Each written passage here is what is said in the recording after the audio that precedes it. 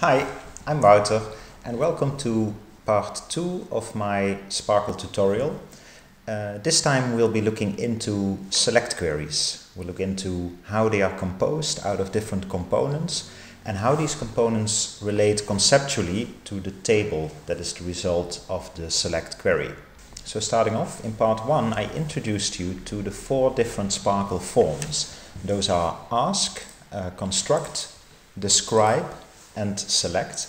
And I also explained to you in part one what the differences are and why you would want to use uh, these different uh, SPARQL forms in different circumstances.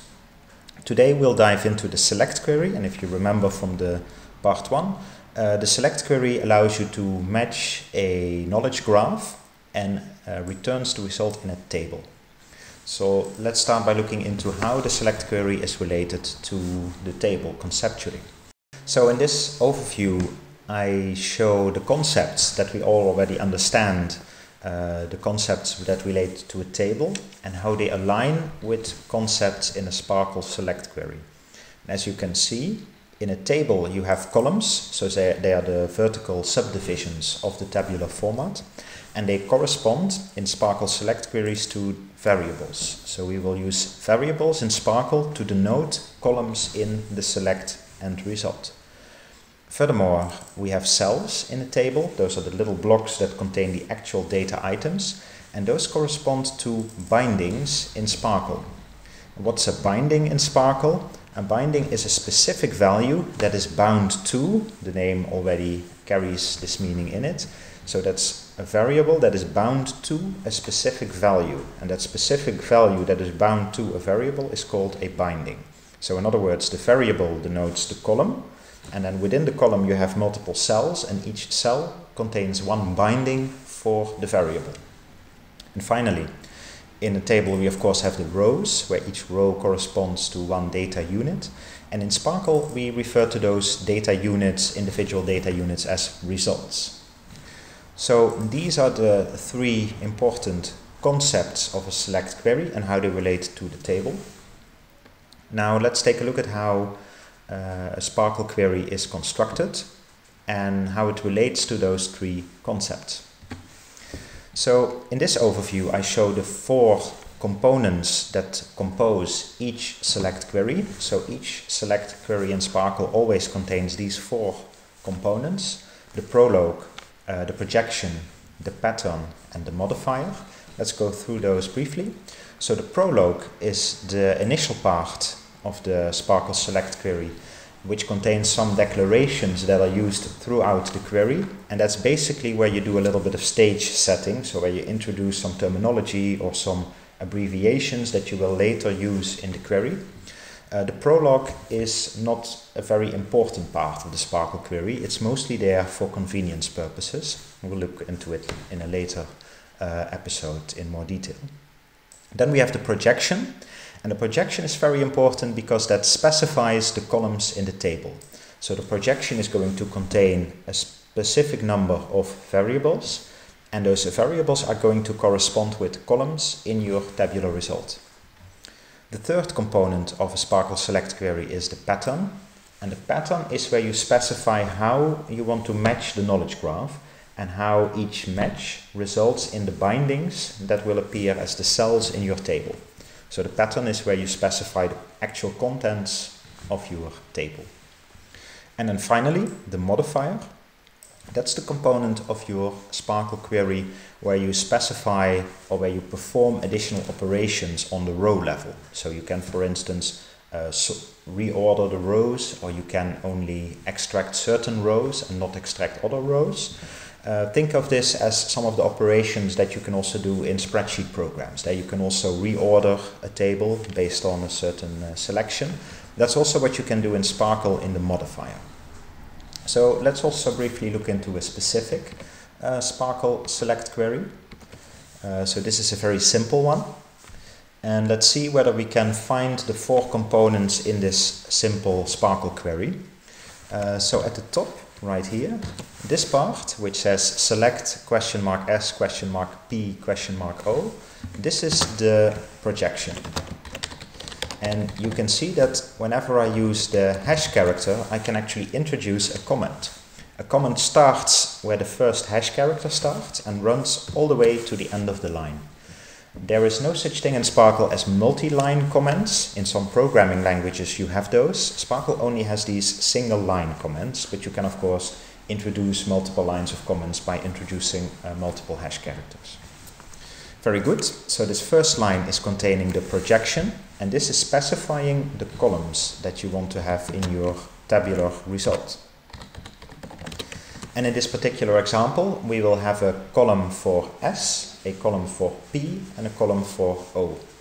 Now, you see that I'm using these question mark S, question mark P, question mark O. So these are uh, variables. Variables are start, always start with, uh, with a question mark uh, in, uh, in SPARQL. But I did not choose them uh, just arbitrarily, because the S actually corresponds to the RDF notion of a subject term, the P corresponds to the RDF notion of a predicate term, and the O corresponds to the notion of an object term. And this will also reappear in the pattern, because the pattern occurs between these two curly brackets. This is where it starts, this is where it ends. This is the actual body of the pattern, and the pattern is specifying how we want to match the knowledge graph. So this is the pattern. And if you remember from the previous slide, the pattern is going to specify the bindings that make up the values in the cells. So this is where we specify the actual values for the cells. You can see now that the S, P and O that you already saw in the projection reappear in the pattern. And this is crucial because if we match something in a pattern, we can return it in the projection. But we can only return something in the projection if it also appears in the pattern, because otherwise you don't know how to return things in the projection. You must also match them, of course, on the knowledge graph. So what this means is that I'm matching now a subject term, a predicate term, and an object term in that order, and this will correspond to one edge in the knowledge graph. In the knowledge graph there will be a node called the subject node a second node called the object node and then connecting it there will be an arc and the label of the arc will be the predicate. So S, P, O will actually correspond to a specific edge that we will be mapping uh, from the knowledge graph. And then the last line, limit 10, that is our modifier. So this is modifying which rows we want to return.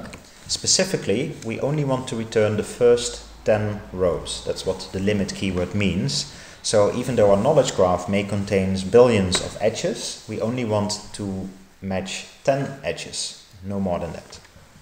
Now, if we go back to, the, to this overview, you see that we actually had four components in each SPARQL Select query. The one that we're still missing is the prologue, and that's true because in this query the prologue is basically empty. So I can maybe in comments put it over here in future episodes, we'll also see SPARQL Select queries with a non-empty prologue, but this one doesn't have one. And uh, maybe it's also good to see this query in action. So let's go to our web browser and we can go to a website called yasgui.triply.cc. I'll also put it in the description of this video. Uh, Yasgui is an open source SPARQL editor that is developed by Triply and uh, it allows you to query various SPARQL endpoints. It also gives you some feedback while typing in the query. So as you can see in this example, it uh, colorizes the different components of the SPARQL query and uh, it also allows you to select a specific endpoint. So we'll now, for demonstration purposes, we start with https colon slash slash dbpedia.org slash sparql, which is the SPARQL endpoint of dbpedia, the semantic web or the linked data version of Wikipedia. And this is exactly the query that I showed you earlier. So this is the projection, this is the pattern, and this is the modifier. Remember, we have no prologue there. We can press the play button to run the query, and then we see the result over here in a tabular format. And you can see that indeed S, P and O, so that is our projection, those reappear now as the three columns of the table. Furthermore, you can also see 1, 2, 3 until 10 So those are the 10 rows that were specified by our modifier. And the cells in the table are filled with various terms and those are specified in the pattern. Okay, so far so good. So this was our first select query. It's a very simple one. In the next episode, we'll look into how we can retrieve some more specific information from the knowledge graph. So this query is just retrieving some arbitrary triples, some arbitrary results, but we actually want to have specific results, namely the results that we're interested in with respect to a certain application. So join me next time when we look into more specific select queries.